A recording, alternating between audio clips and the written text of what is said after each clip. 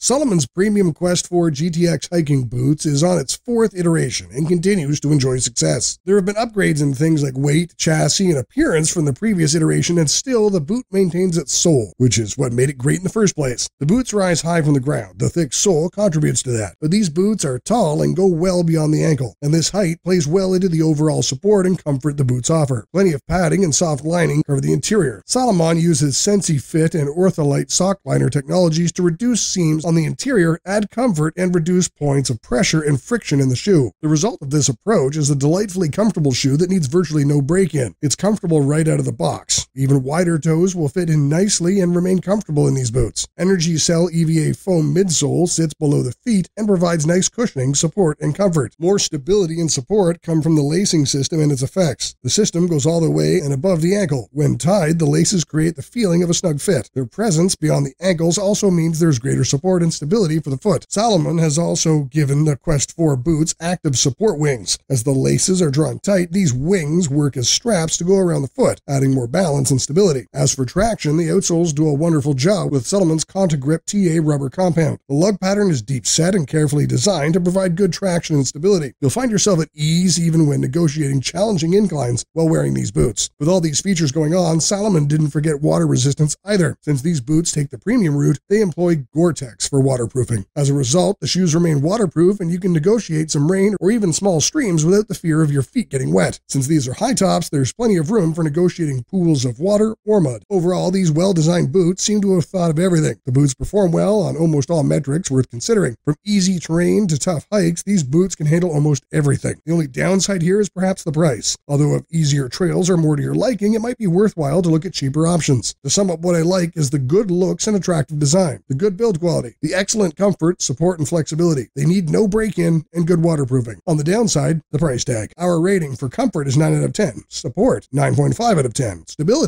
9.5 out of 10. Value for money, 8 out of 10. For an overall rating of 9 out of 10. So what do you think? Are these the best hiking boots for you? Or do you think another hiking boot is better? Check another video where we review the top 3 hiking boots and see if any of these is a better option for you. Tell us in the comments below. And don't forget to hit the like button and subscribe. Have an awesome day.